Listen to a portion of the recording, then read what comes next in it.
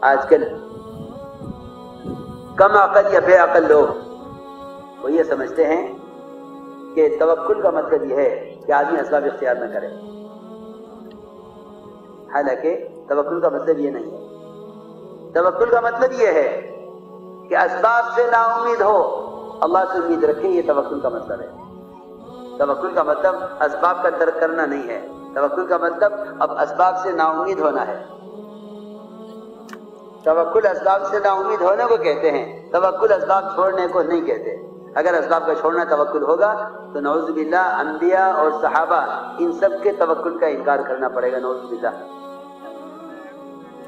انبیاء بھی توکل پر ہیں، صحابہ بھی توکل پر ہیں، اولیاء بھی توکل پر ہیں، لیکن ان ان سب نے اسباب اختیار کیے ہیں۔ میں کچھ کہنا چاہتا ہوں۔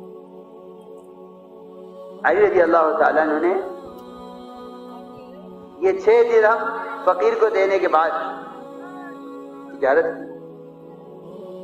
تجارت کی۔ اور اس تلاش میں رہے کہ کوئی آمدنی کی شکل بنے۔ تم اللہ کو دو، اللہ کا ہاتھ لائیں گے۔ تم اللہ کو دو، کم سے کم زکات ہی دے دو۔ جو تم پر فرض ہے۔